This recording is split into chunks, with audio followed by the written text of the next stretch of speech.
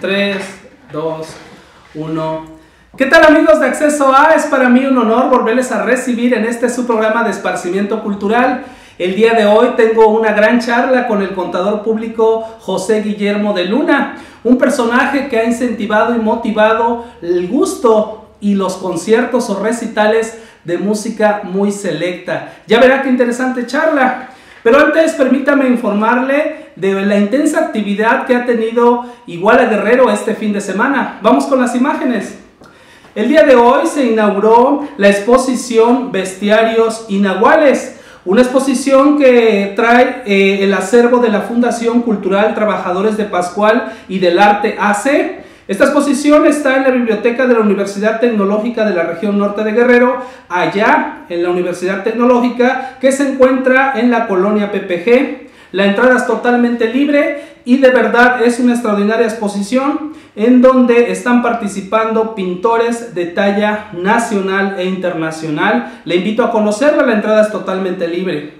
Por otro lado, se inauguró la muestra fotográfica Igual Antiguo, una colección del declamador Víctor Mata Pastrana, fotos que datan entre los años 1905 y los 70 que ilustran pasajes históricos de nuestra ciudad como un lugar importante en el pasado, incluso de México. Arquitectura, calles, lugares, personajes que dieron gloria a muchos datos curiosos o sobresalientes para la identidad de los igualtecos. Acompañado de amigos, familiares, personalidades culturales y periodistas, el maestro Víctor Mata agradeció el apoyo a este proyecto que desde hace años venía ideando gracias al amor que sus madres y padres le inculcaron en su querida Iguala.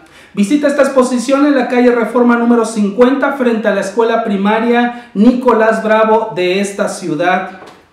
Asimismo, se inaugura en el Museo de la Bandera la exposición Herencia e Identidad del fotoperiodista Raimundo Ruiz. En esta muestra se registra una de las fiestas más significativas para el municipio de Izcateopan Guerrero, en honor al rey azteca Cuauhtémoc, y que año con año convoca a centenares de danzantes de toda la República Mexicana, quienes rinden tributo con danzas y rituales prehispánicos.